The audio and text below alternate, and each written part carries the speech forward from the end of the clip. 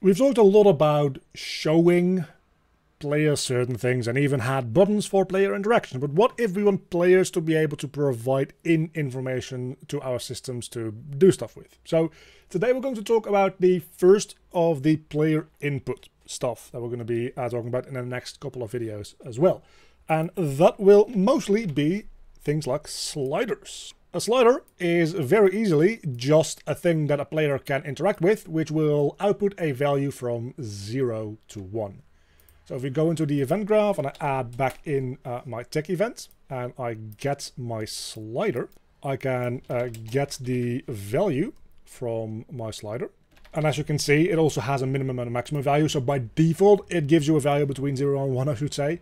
Uh, but you can set this value to be anything you want. You, you can also make the slider uh, vertical if you want to. That's very fun.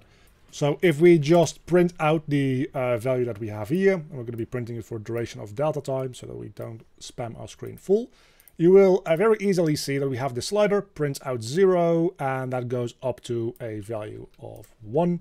If I then go in and set the uh, minimum value here to let's say 100 and then I set the maximum value to 800 as just a random example, you will see that it doesn't immediately work because its default value is 0. Uh, but then if I even just touch it, it goes to 100 and then again it just interpolates between the minimum maximum value based on the distance of the slider.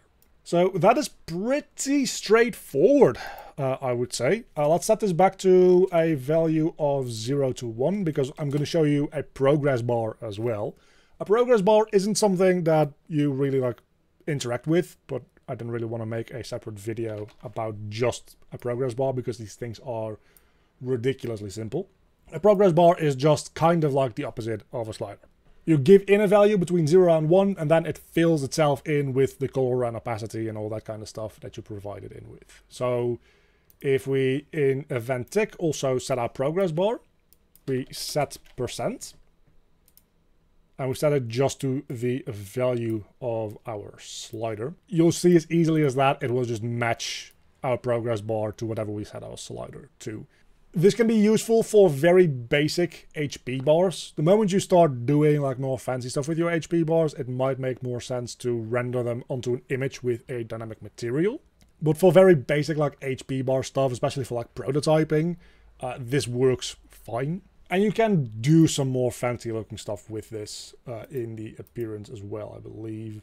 Like you can turn this on and that makes it kind of like fancy, more like a loading bar, right? You have different uh, scale types for masking or for scaling. You can fill it in in a variety of different ways, left to right, right to left, uh, fill from the center, which is really kind of weird, but that's a thing that you can do. Uh, the top to bottom, whatever you want. There's a lot of options with these progress bars that you can uh, just play around with.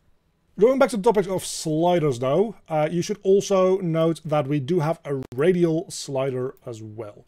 And this essentially is just a normal slider uh, on a circle. You can say where on the circle it needs to start and where on the circle it needs to end. So you can have just like a part of a circle, like a bit of a curve. It's just a bit of a fancier way to include a slider uh, if you want to. This one also has a slider hand that it can show, just from the center to wherever the slider thing is.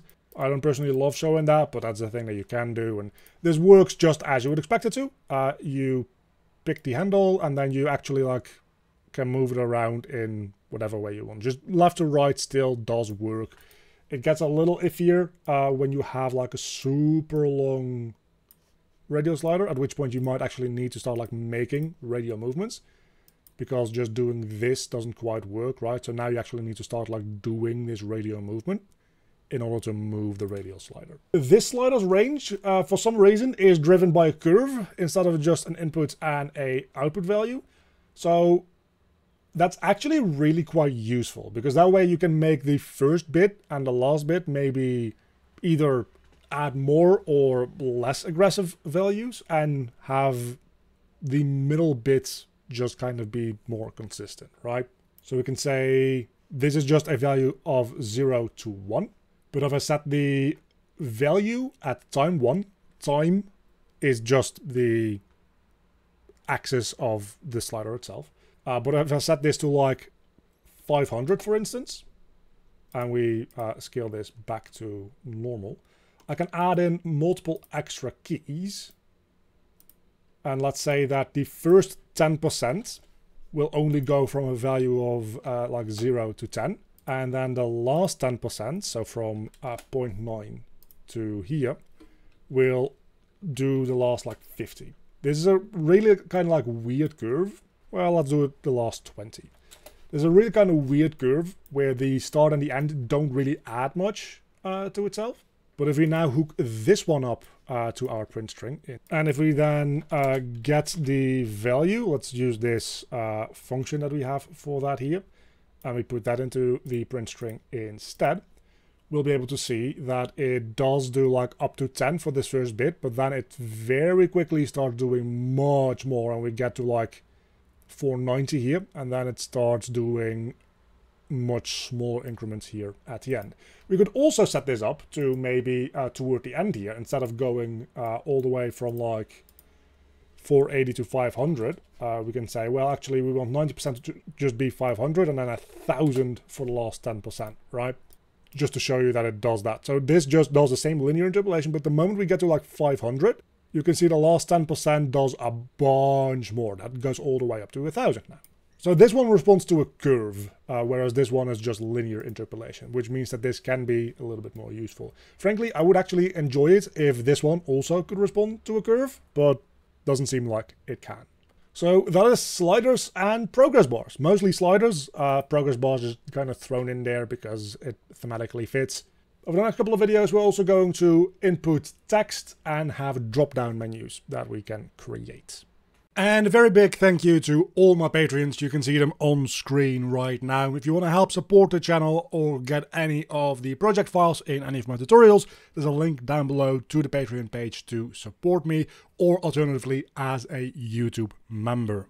And a huge thank you to my Cave Big Brain tier supporters, which care more for coding than impulse control, Earl Monserville Erno, my Cave Students tier supporters, Oiku, and my Cave Digger tier supporters, Mauricio Farias.